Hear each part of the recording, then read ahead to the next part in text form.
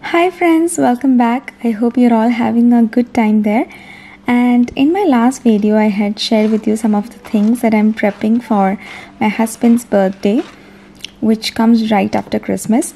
So, here I'm sharing with you what I'm cooking for him for the day, uh, mostly all in the instant pot. So, many of you were asking for instant pot recipes. So, here I'm preparing a traditional meal today, a Kerala meal do check that out and also the cake recipe. We are making ice cream cake today.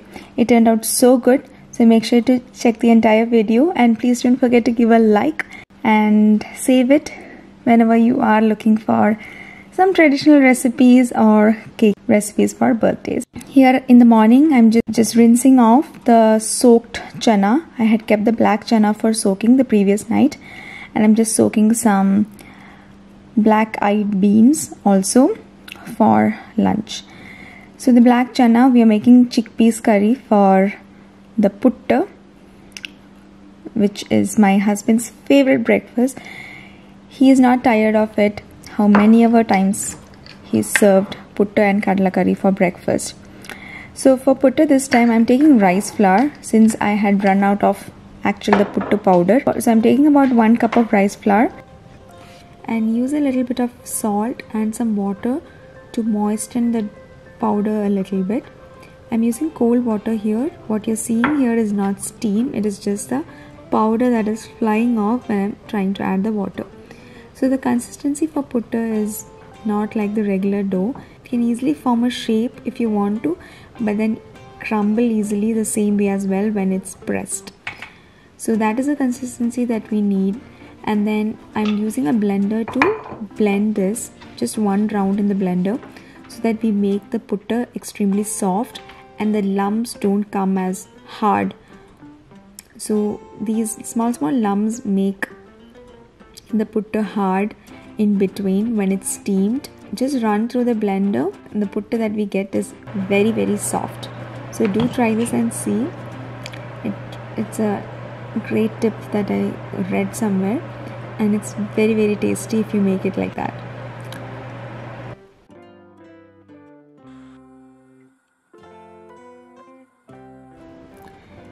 now it's time to get the black chickpeas curry going. I'm taking the instant pot adding in the oil and then adding in the onions which are chopped right now. And then i have already taken out the roasted coconut paste and the tomato paste from the fridge that we prepared yesterday. And once the onions are sauteed well just add in the tomato paste. It's definitely helpful to keep some meal prep at hand when for occasions like these birthdays or parties or some if guests are coming over it's definitely helpful to write down the menu initially and get to know what prep work needs to be done and write down the meal prep required and do it. This saves a lot of time, and that's the reason why I'm able to prepare all this in the morning itself and get some free time after lunch. So once the tomato paste and the roasted coconut paste are added in along with the chickpeas, add the spices, turmeric, red chili powder, coriander powder, garam masala and salt, water. That is 2 cups of water for 1 cup of chana and then cook it in the instant pot at pressure cook mode for 30 minutes straight.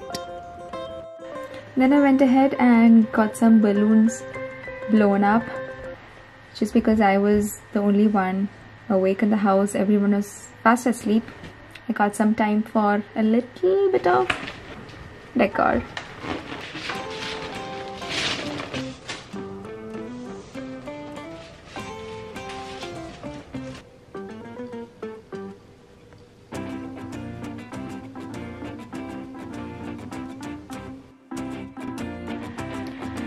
and also for the gifts that I gave my husband. I did a little vlog on my Malayalam channel. Um, so make sure to check that. I will definitely let you know when the video is up. It was really fun to give him the gifts and to see his expressions, his shocking expressions by the way. So anyway, do check that video out.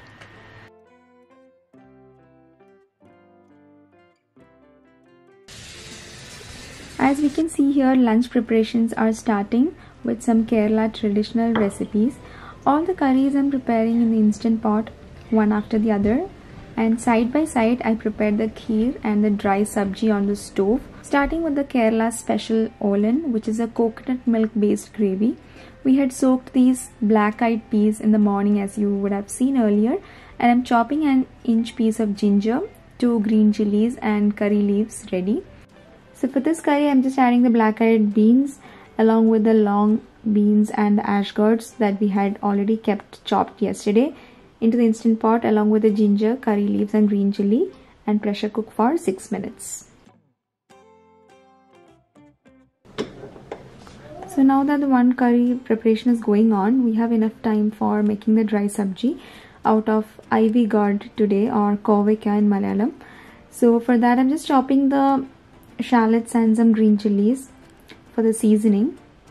Since we have already chopped the veggies yesterday itself, it's very easy to do this today. Just cook the ivy gourd along with some salt and turmeric and then add in the shallots green chilies and some grated coconut. And I'm also getting started with cooking the rice. So by this time the olen is cooked and you can release the pressure and add half a cup of thin coconut milk into it and then add the curry leaves and a teaspoon of coconut oil and the curry is ready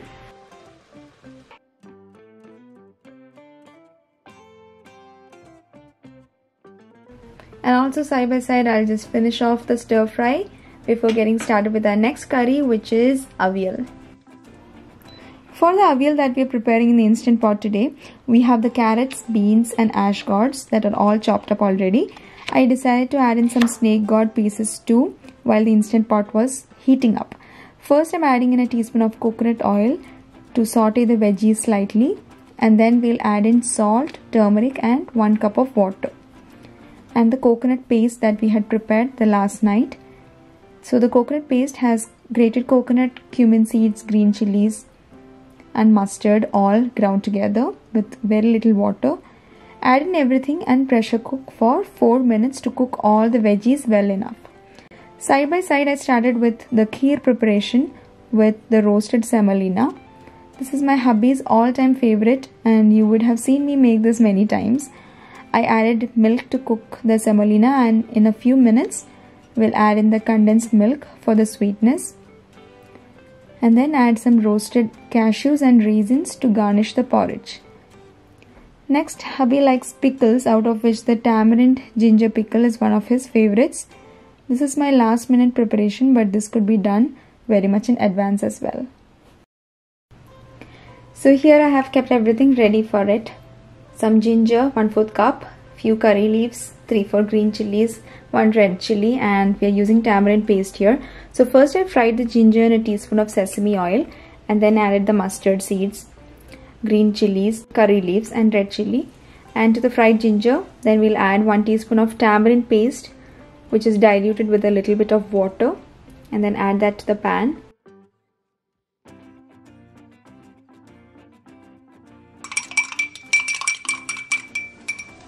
and let this whole mixture boil for a few minutes. Add salt, turmeric to add to the flavor while it boils and then at the end add 1 to 2 teaspoons of jaggery for the sweetness according to preference.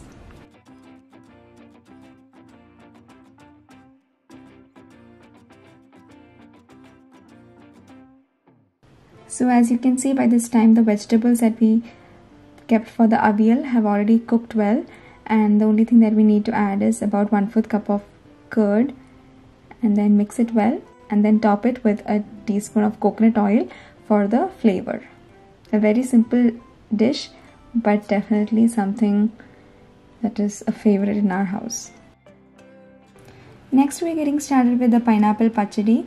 Last night I had chopped up the whole pineapple. So I'm using one, one full pineapple here because the kids really enjoy this curry because of the sweetness. So I'm just adding the pineapple and pressure cooking it with water, salt and turmeric for 2 minutes. That's it and once that is done, you can see it's cooked completely well. I'm adding in the grated coconut mixture that we had kept ready. So this is the same grated coconut paste that I have used for the avial but I had kept it in a separate container so that makes it easier to use and then once that is added mix it really well. And that's it. At the end add 2 tablespoons of curd and mix it really well. And then you can add in the seasoning with mustard curry leaves and red chili to complete the dish. But this is the most favorite traditional Kerala dish that my kids really enjoy. And I hope you try this out as well.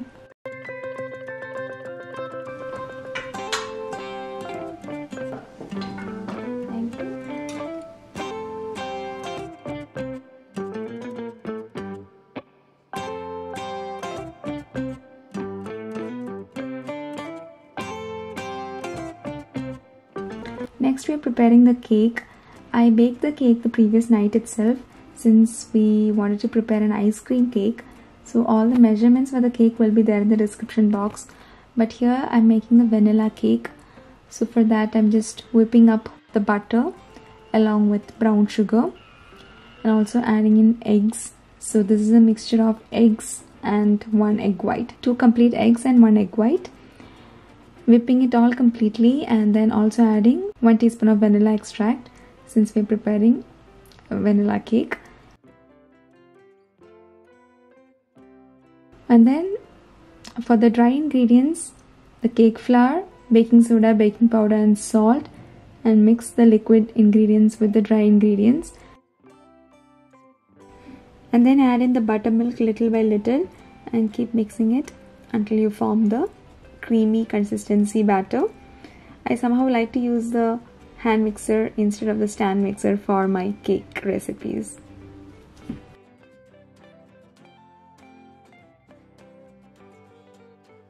And then bake it in the oven at 350 degree Fahrenheit for 25 minutes approximately. Make sure that the inside of the cake completely cooks before you take it out. And once the cake cools out, um, I added in coffee ice cream on top of it.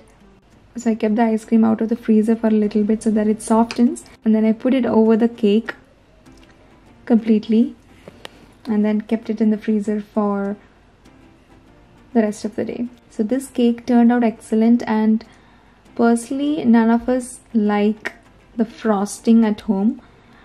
Mostly kids also enjoy it for a little bit and then they leave it.